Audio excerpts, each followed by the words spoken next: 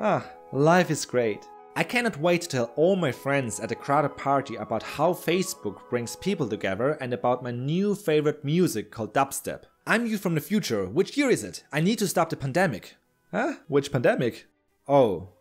At least I have enough toilet paper and there will be no more infectious and more severe versions of COVID-19. I need to warn everyone about the new Delta variant, it's more infectious and severe. I'm you from December 2021, forget Delta, there's an Omicron variant. Yep, Omicron's here and it's spreading. Right now, the Omicron variant is becoming one of the more dominant forms of SARS-CoV-2. But what do we know about Omicron so far and do the vaccines work? My name is Clemens and today we'll talk about the Omicron variant.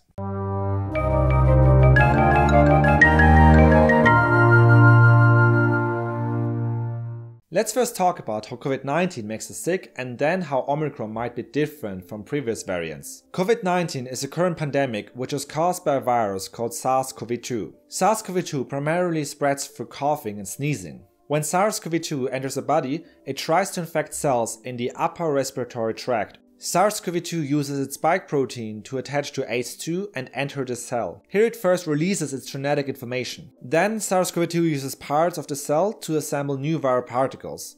The assembled particles then leave the cell and try to infect other cells. This goes on for a while until the immune system recognizes that something is wrong and starts to fight SARS-CoV-2. The first immune cells detect the virus and release cytokines, which attract more immune cells and cause inflammation. Then a lot of complicated processes happen at the same time, but in the end the immune cells have one goal. They want to recruit T cells and B cells. T and B cells are two parts of the immune system which are very effective in killing viral particles. After B cells have been activated, they produce antibodies which float in the blood and destroy further particles. In some cases, the infection stops right here. We only experience mild symptoms such as cough or tiredness or no symptoms at all. Sometimes, however, SARS-CoV-2 manages to survive the initial attacks by the immune system and enters the lungs. If that happens, COVID-19 becomes more serious and can cause fever, shortness of breath or pneumonia. At this stage, patients are normally admitted to the hospital where they have to receive oxygen. COVID-19 can also spread to other parts of the body where we have ACE2. Cells in the gastrointestinal tract which have ACE2 can be infected, causing diarrhea. Cells of the olfactory system can be infected by SARS-CoV-2 leading to the loss of taste or smell. Some tissues in the heart contain ACE2 and can also be infected by SARS-CoV-2. In these cases, patients can develop heart problems.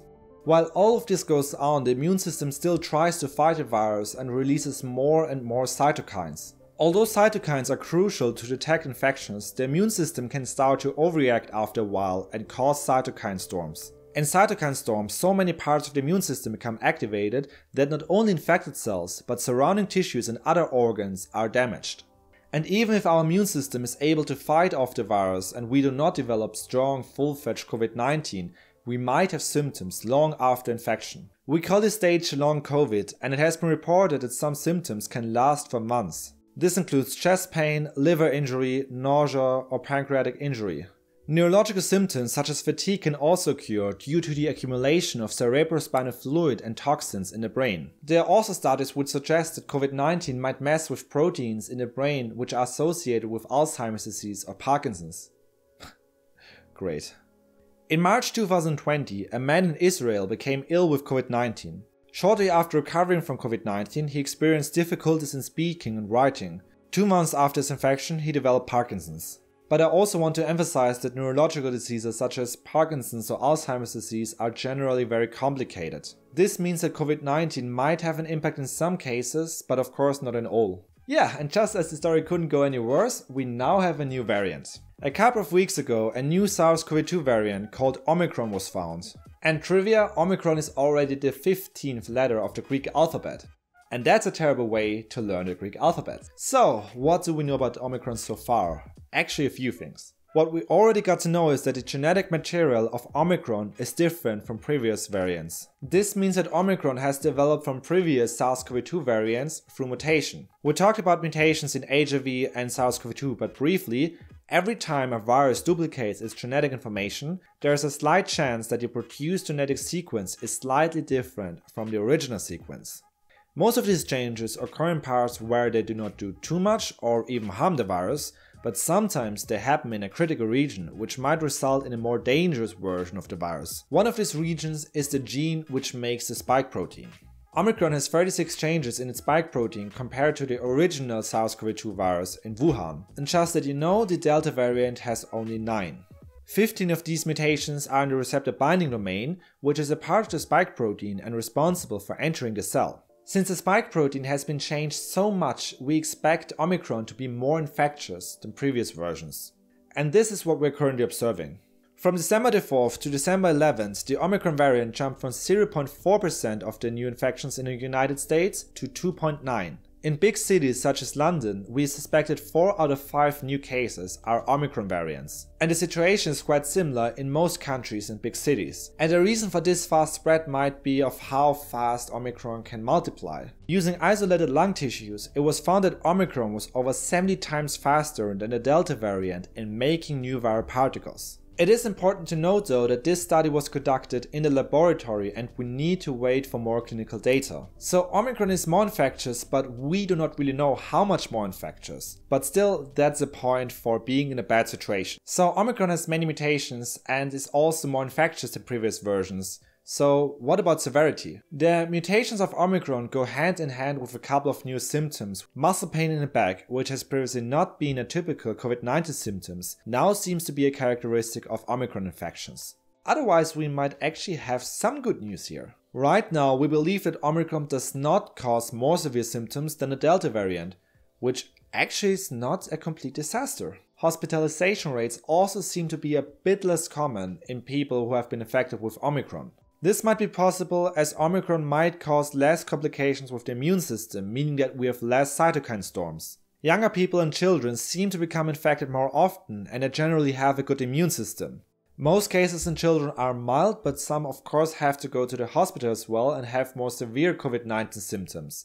And that of course is bad. Now we come to vaccines. So far in this pandemic, vaccines have been the most effective way to fight COVID-19 besides social distancing.